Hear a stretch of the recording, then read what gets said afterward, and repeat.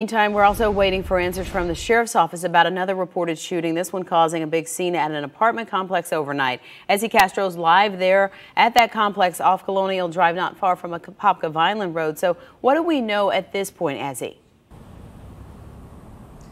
Well, Bridget, deputies basically have been out here all night long, but still haven't confirmed any details about what happened here. But within the last 30 minutes, we did see a tow truck leave from this apartment complex with a light blue car. That may have something to do with this investigation. Now, what we know so far is that this call came in late last night after reports of a shooting here at this apartment complex called Ellery at Lake Sherwood. Now, radio dispatch from firefighters indicated a man was shot and rushed to the hospital but so far we have not heard any official word. This is a big complex with several buildings, and this is a busy area in general with Colonial Drive and the Walmart right nearby. So likely a long night for of worrying for at least some of the people that live in this apartment complex. Now we were told the spokespeople for Sheriff John Mina will be putting out a media briefing, but that still has not happened. We're working on getting those details. As soon as we learn more, we will pass that along. But for now, live in Orange County, Ezzy Castro getting results News 6. Ezzy, thank you.